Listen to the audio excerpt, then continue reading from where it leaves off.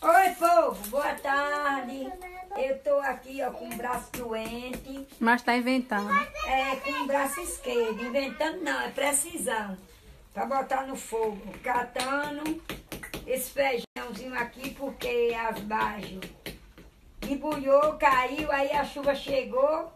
Aí agora molhou, não se deixar assim dentro da Ó a areia. menina raiz aqui, ó. Quebrando castanha. Deixa. Já salve, Manuel. Bate, Manuel, na castanha pra quebrar. Que mão é essa? É, tô catando com a mão esquerda. Tudo é a mão esquerda. Esse daqui não, tô- não faço nada. É uma dor dentro da veia. Olha a veia que grossura tá, ó. Ó pra isso. Ó que diferença dessa pra essa. ó. Mas não sei o que é, né? É dor, só dentro da veia. E não, mano, não fiz história de manhã porque meu Wi-Fi tá Ó que dia lindo de Deus, ó. e o celular também. Descarregando toda hora a bateria do celular, o celular tudo. Tá chovendo. Você não cansou Mostra aí o pouco que tá chovendo. Você não cansou o pé, não? Já dei boa tarde. Tô aqui, ó.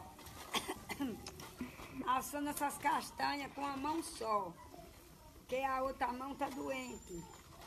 O braço tá doente. Aí tô fazendo tudo com o esquerdo. Pra dar graças a Deus. Tchauzinho, gente. Ei, Maria.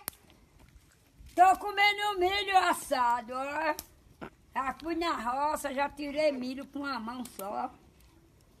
É uma dor, gente, que eu tô no braço. Na veia do braço, pra não. Depois não ficar perguntando o que eu tenho. Já tô explicando o que é. Aí, ó, já foi, eita, tá lá varedando milho. Eita, que o milho tá é doce. Olha. Cada uma hora é uma coisinha, com a mão só, mas faz tudo, graças a Deus, né? Fazer o quê? Tchau, meu povo, tchau, tchau.